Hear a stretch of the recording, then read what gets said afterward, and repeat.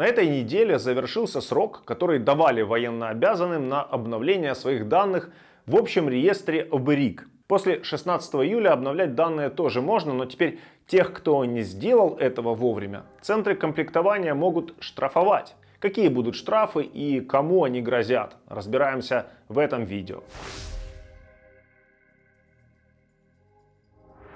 По новому закону о военнообязанных у граждан было 60 дней, чтобы обновить свои данные онлайн через Резерв Плюс, Центра административных услуг или ТЦК. По информации Министерства обороны, более 4 миллионов людей это сделали.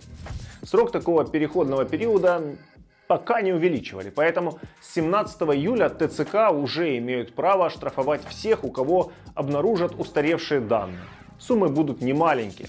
Во время режима военного положения Сумма может быть от 17 до 25 тысяч гривен. При этом оштрафовать могут не только самого военнообязанного, но и, например, его работодателя. Штрафы не будут автоматическими для всех подряд. Их будут выписывать при выявлении нарушений сами работники ТЦК на основе информации из реестра Оберег.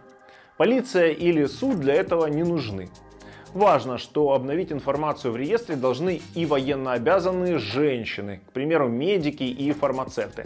Хоть мобилизация женщин добровольная, они тоже могут получить штраф за нарушение сроков актуализации данных. При этом в Министерстве обороны объяснили, речь идет об обновлении только контактных данных, а не результатов военно-лечебной комиссии. То есть, если вы успели добавить актуальный адрес и другие контакты, проверили в реестре наличие военной специальности, вашего статуса и военкомата, где стоите на учете, вам не полагается штраф.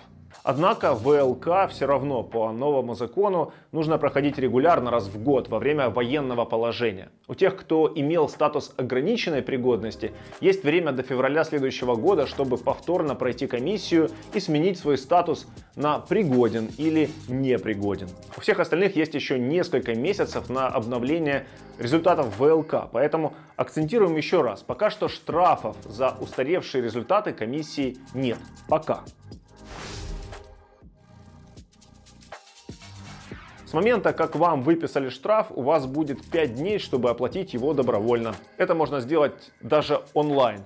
Если же за этот срок штраф не будет оплачен, могут заблокировать банковский счет или автоматически списать с него нужную сумму.